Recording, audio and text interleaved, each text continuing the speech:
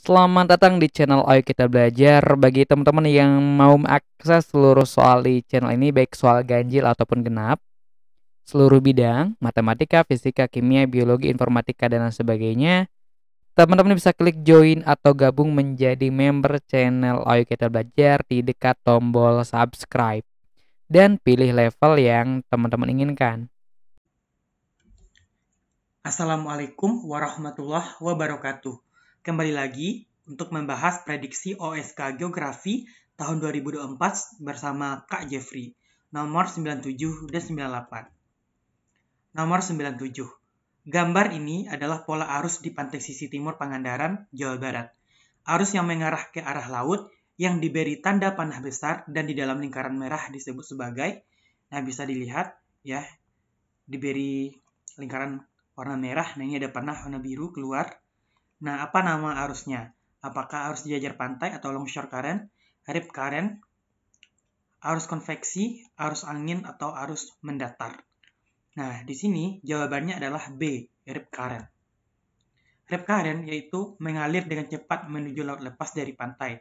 Terjadi ketika air laut yang terdorong ke pantai oleh ombak arus oleh ombak harus kembali ke laut melalui celah sempit di antara gelombang. Sementara itu, longshore current adalah arus laut yang mengalir sejajar dengan garis pantai, bergerak ke arah sepanjang pantai.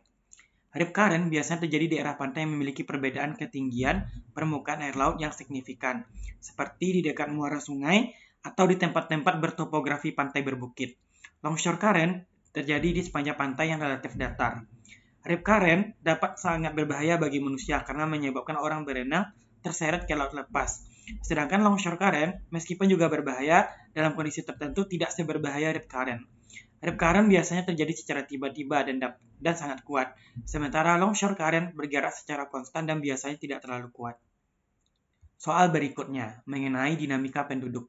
Perhatikan gambar di bawah ini mengenai penggunaan rumus. Nah, rumus ini berkaitan dengan apa katanya? Jawabannya adalah A, double time. Nah, jadi ini adalah rumus untuk menentukan penduduk lipat ganda. Nah, double time adalah waktu yang dibutuhkan untuk menggandakan jumlah penduduk pada tingkat pertumbuhan penduduk yang tetap.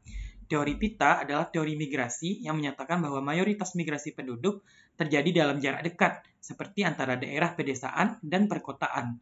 Teori Malthus adalah teori yang mengkhawatirkan pertumbuhan populasi penduduk melampaui produksi pangan. Bonus demografi adalah periode ketika struktur usia populasi menguntungkan dengan proporsi penduduk usia produktif yang lebih tinggi. Rata-rata penduduk satu tahun adalah perkiraan jumlah pertumbuhan penduduk dalam satu tahun berdasarkan laju pertumbuhan.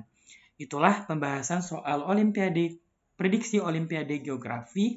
Semoga bermanfaat. Assalamualaikum warahmatullahi wabarakatuh.